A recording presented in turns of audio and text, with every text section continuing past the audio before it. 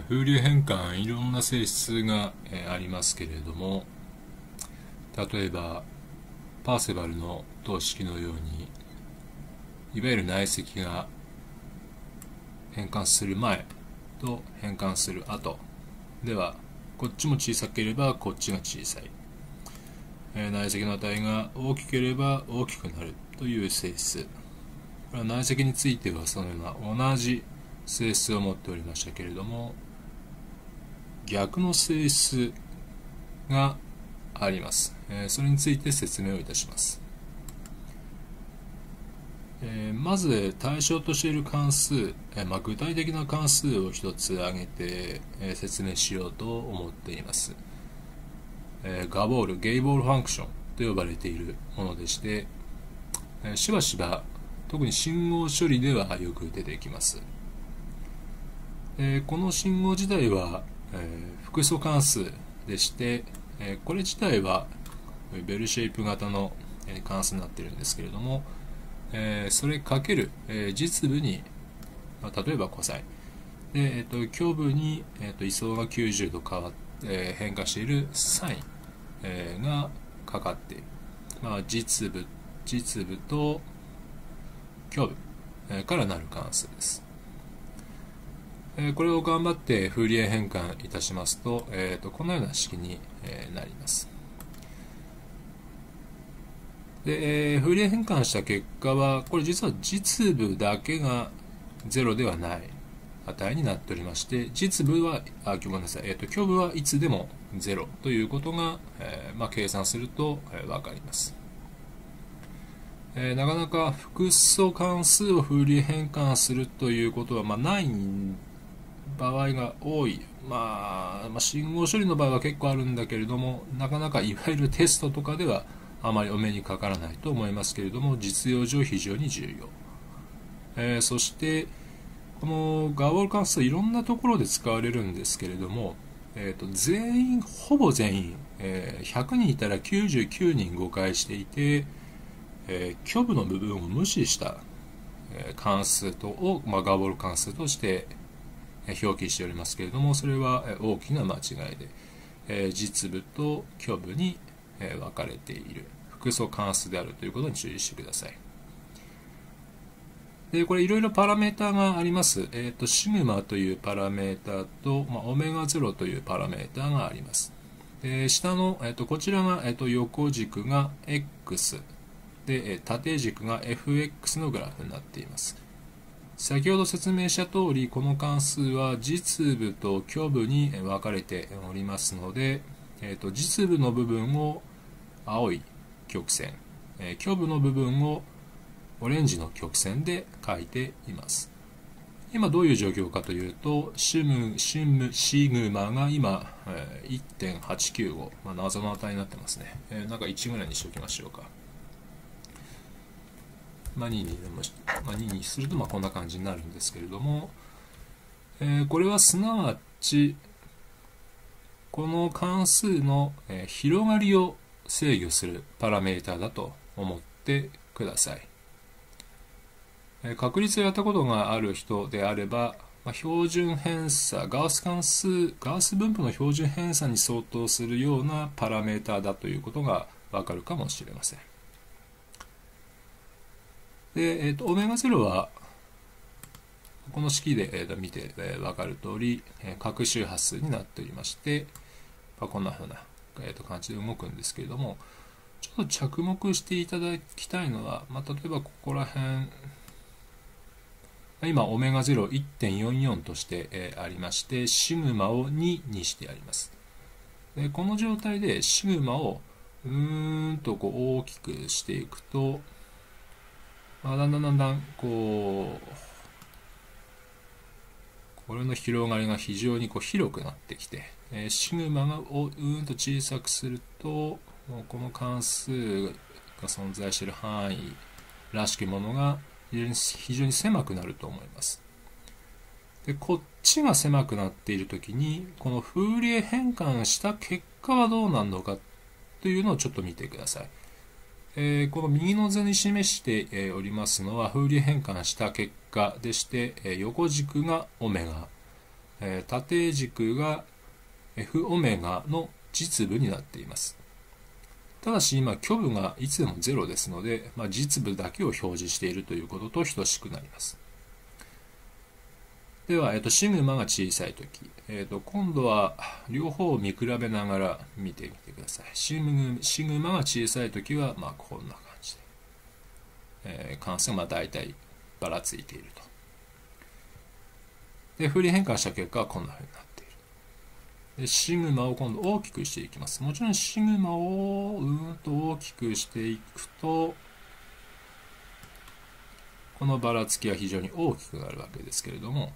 こっちは先ほどと比べると非常に急所になるということがわかるかと思います。まあ、究極的に今、シグマが4ですけれども、まあ、豪華に100ぐらいにしていきましょうか。まあ、かなりドンと狭くなっているというのがわかるかと思います。多分これプロットしきれていませんで、えー、やりすぎましたかね。えー、20程度にしておきましょうか。まあ、こんな感じです。でシグマが20、えー、そうなりますとこの表示の範囲の中ではほとんども、えー、この部分はほとんど1にな ,1 になってしまいますので、えー、コサインオメガ 0x とサインオメガ 0x、えー、おなじみの関数が表示されている、えー、ように見えます、若干こうね、えー、値が1より小さくなっているのは、オメガじゃなくてシグマが有限だからということに他なりません。えー、というように、えー、こっちの空間では変換する前の空間では非常にこう信号のこのばらつきが空間的なばらつきが多かった、まあ、時間でもいいんですけども横軸時間を t と考えれば時間のばらつきっていうふうに思えば、えー、まあ、変換した後のこのばらつきは逆に狭くなる、えこれがフーリエ変換、まあ、逆の世界裏の世界から見た時に逆に変化する整数、えー、非常に重要な整数ですけれどもこれが不確定性原理というものに結びつきます。逆にこっちが狭ければこっちが広いというふうに捉えることもできます、えー、もちろん違う見方をすれば、えーとこちらが広ければこちらが狭くなるという性質です。もうちょっと分解して、えー、見ることに見ることにいたしましょう、えー、内容自体はもうこれで十分です。こっちが狭ければこっちが広い。逆にこっちが広ければこっちが狭い。一番最初のスライド。こっちが狭ければこっちが広い。こっちが広ければこっちが狭い。逆の性質が見て取れますよというもの。詳しいことを見たい方は次のスライド以降を見てください。えー、まずガボールファンクションについてもうちょっと詳しく見ていきましょう。えー、これは先ほど、えーと、お伝えした通り、えー、ガボール関数を fx と書くのであればこういう関数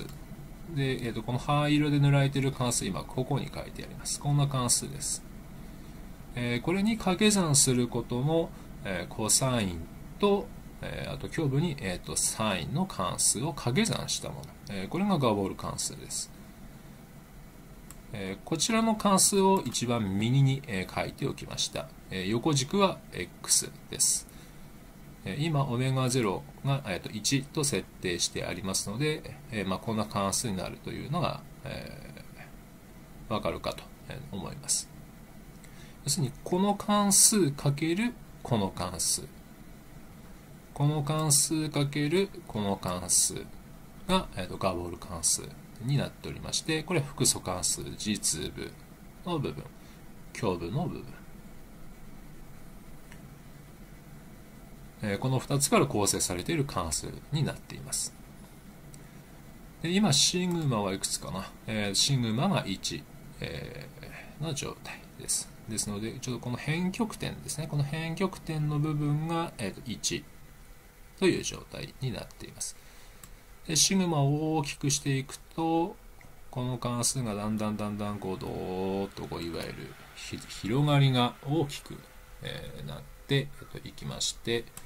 さっきもちょっとやりましたけれども、例えば50とかね、変極点がま50のところにあって今表示範囲がたかだかプラスマイナス5程度ですので、えまあ、ほとんどこの表示の範囲の中ではほとんど1、えー、かけることの、え2種類の、まあコサインとサインという関数でもってこの元の関数 fx が定義されていましたので表示される関数は、えー、ほとんど変わりなくコサインっぽい関数とサインっぽい関数になっています。えー、まあ、一方こうシグマをちうんと小さくしていくと、え、掛け算する部分も、まあ、狭くなっていきますのでガーボル関数のまあ、厳密には0には決してならないんですけれどもあの、まあ、有限の範囲ではまだんだんだんだん狭くなっていくというのがわかるかと思います。えー、まあ、シングマちょっと元に戻しておきましょうかね。えー、一番最初の、えーと、1。これが一番最初を見ていただいたものでした。で次、オメガ0というパラメータを変化させていこうと思います。え、そうすると、これの各周波数がもちろん変わりますので、各周波数が大きくなればずっとこのようになっていって今、え、各周波数オメガ0が3ですけれども、これかけるこれでこの関数が得られるということがわかるかと思います。まあ、これまあガーボール関数。えー、まあ大体2つパラメータ。まあもう一つ、あと2つかな、えー、と使う場合が、多いんですけれども、まあ、それはものの本を見てください。えー、ただし先ほど先ほども言いましたように、えー、100ページとか100人いたら99人間違えて、えーと、いるのでそこは要注意複素関数ですよということこれ要注意です、えー、複素関数を一気に考えるというのは非常に難しいのは、えー、皆さんご承知、まあ、経験、えーと、あるかなと,、えー、と思うので、えー、まずはガボール関数の実部の部分と虚部の部分、えー、これに分けてえそれぞれフーリエ変換をして、えどういう様子になってるのかなというのを見てみたいと思います。えまずは相変わらずシグマは1、オメガ0はこれまた1に設定してあります。まずガボール関数の実部の部分、えこうなりますけれども、えこれをフーリエ変換した結果を f の Re オメガと書くことにいたします。え、そうすると、え、これ自体は偶関数です。で偶関数を表現しているのが、まあ、実部であるというのはいろんな本に書いてあると思うんですけれども、え、従いまして、えーまあ、これが偶関数ですのでこれのフーリエ変換結果の虚部は0になっている。実部だけが0ではない値になります。でそれをプロットしたのがここになります。F の Re オメガの実部。が、えー、この青い線で虚部はずっと0ですよとそういう状態ですで、えー、このまま、えーと、シグマをいろいろ動かしてみましょうかねあ一応もう一度確認するとこの青線の方です青線のフーリエ変換した結果がこのグラフになっていますということです。えー、オメガ0を、えー、大きくしてみましょうか。ずっと大きくしていただくと。えー、今、オメガ0が3ですけれども、えー、そうなりますと、この実部のこのフーリエ変換したえもちろん3という各周波数が多く含まれているであろうと予測、えすることができますけれども、まあ、実際大体3です。実は正確には3ではあのありません。ここも結構間違いやすいところでは、えー、とあります。理由については、うん。まあ、結構面白いと思いますので、えー、ご自身でいろいろ調べてみるのがいいかと思います。じゃあ、えーと、虚部の方も、えー、見ていきましょう、えー、関数ガボール関数の虚部のパート、えー、これはこのように表現することができまして、えこれは期関数になります。そうすると先ほどと逆の状況になりましてそのフーリエ変換結果を F の im と書くことにいたしますと実部のパートは今度は0になって虚部の部分が非0になります、まあ、こんな関数になると。でこの F の im オメガをプロットしたのがここになります。横軸がオメガ。で縦軸が FIM のオメガでその実部は全部0ずっと0オメガに揺らず0で虚部はこんな関数になっています。こんな関数になっています。で、えー、とここもオメガ0をずっとこう制御していくと、まあ、こんなふうにこう変わるんですけれども例えばそうですね。オメガ1にしましょうか。オメガを1にしてみましょう、まあ、こんな関数になると。でこんな関数になる。実部の場合にはここが3とは実はちょっと違うんですよというような言い方をしましたけれども果たしてここはどうでしょうかね？どんな値になるんでしょうか？これもなんか3のように見えますけれども実際にぴったり3なんでしょうか？どうでしょうかね？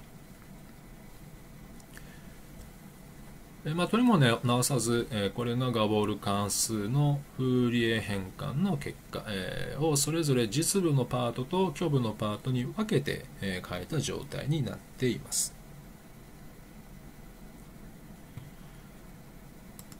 さあ、えー、次行きましょう、えー、実際のガボール関数は何べもお伝えしておりますようにこの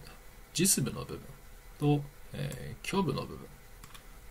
が存在する複素関数になっております。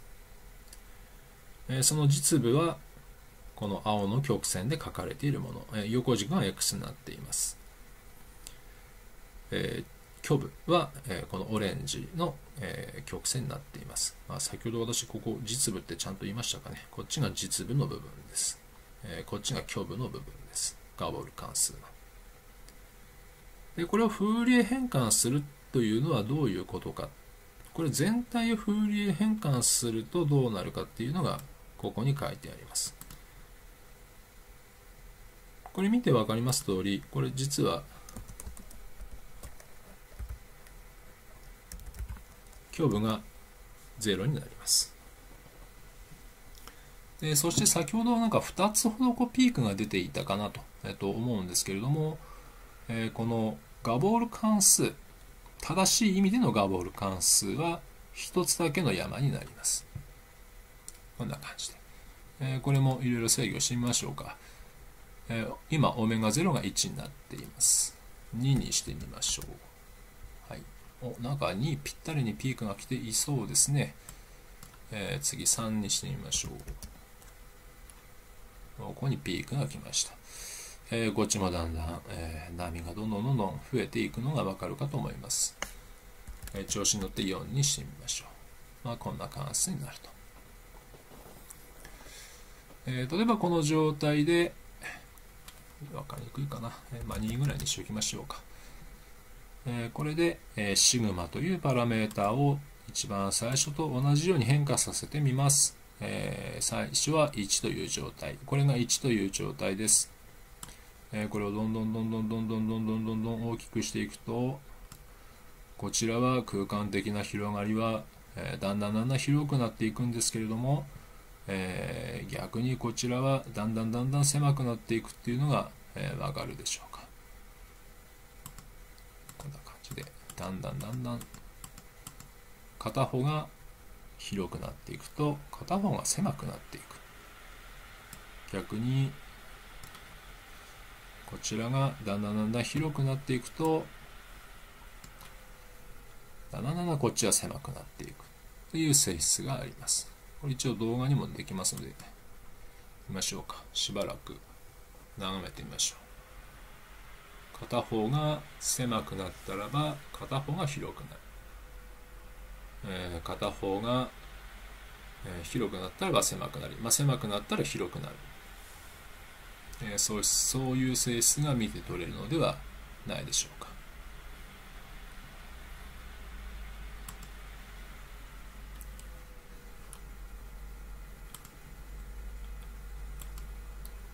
あということで、えーと、おしまいですね。